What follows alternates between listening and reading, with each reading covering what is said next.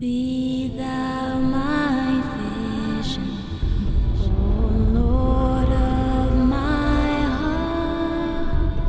Not be all else to me, say that thou art High King of heaven, thou art. Hello.